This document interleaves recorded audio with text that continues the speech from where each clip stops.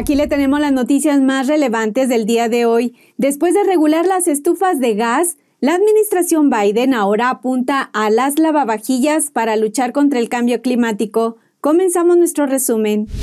El Departamento de Energía acaba de proponer una serie de medidas para los nuevos lavavajillas. Se trata de nuevas normas de eficiencia para el consumo de energía y agua. La propuesta pretende reducir el consumo de energía en casi un 30% y de agua en casi un 35% en los nuevos lavavajillas. En palabras de la secretaria de Energía, Jennifer Granholm, esta administración está utilizando todas las herramientas a su alcance para ahorrar dinero a los estadounidenses, al tiempo que promueve innovaciones que reducirán la contaminación por carbono y combatirán la crisis climática.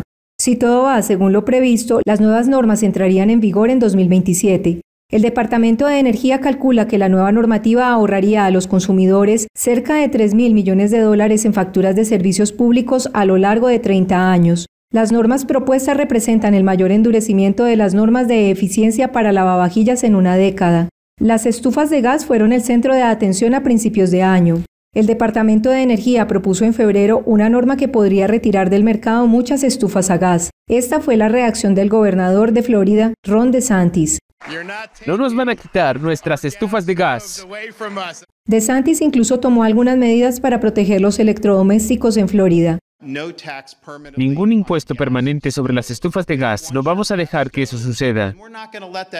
La gobernadora demócrata Kathy Hochul firmó una ley que prohíbe las estufas de gas en la mayoría de los edificios nuevos de Nueva York a principios de este mes. El congresista Nick Lalota afirmó en Fox News que la prohibición de las estufas de gas en Nueva York viene de un gobierno enloquecido. Tenemos la presión fiscal más alta de los 50 estados y esta nueva política, que se suma a la de la reforma de la fianza, es una de las razones por las que los neoyorquinos están un poco menos orgullosos. Los motores eléctricos y las máquinas expendedoras de bebidas también tienen nuevos requisitos. El Departamento de Energía afirma que estas medidas reducirán las emisiones del carbono en un total de 95 millones de toneladas métricas en 30 años. La capacidad del Departamento del Tesoro para aplicar las denominadas medidas extraordinarias con el fin de seguir cumpliendo con sus obligaciones no durará eternamente. El Congreso se acerca rápidamente a la fecha límite del 1 de junio para elevar el límite de la deuda nacional de 31.4 billones de dólares, de lo contrario correremos el riesgo de no pagar la deuda nacional. ¿Qué significa eso? Esencialmente significa que el gobierno federal no podrá pagar cosas como la seguridad social, los reembolsos de Medicare, los sueldos de los militares o de los trabajadores federales. Y esa es básicamente la razón por la que este sindicato, la Asociación Nacional de Empleados del Gobierno, presentaron esta demanda, porque dicen que el Poder Ejecutivo viola la separación de poderes diciendo qué obligaciones pagar y cuáles no.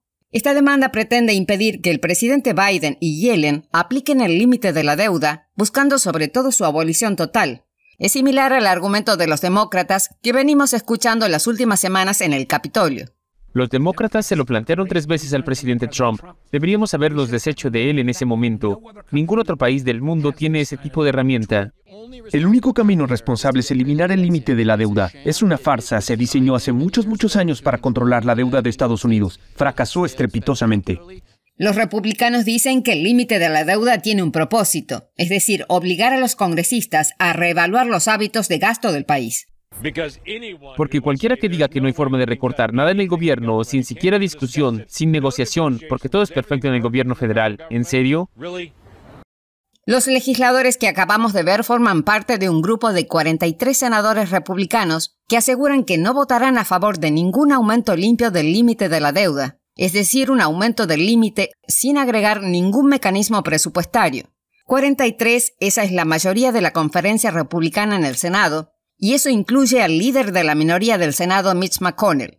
Así que todo esto entra en juego cuando el presidente Biden se siente con los cuatro principales líderes del Congreso en la Casa Blanca para continuar estas conversaciones sobre el límite de la deuda. Informando en Washington, D.C., Melina Weisskap, NTD Noticias. También se ven cosas como el PSC o una empresa de fachada o algo así. Comprarán toda esta tierra tierra de cultivo y todas estas cosas, y piensas, ¿cómo eso está en nuestro interés nacional, vender toda esta tierra?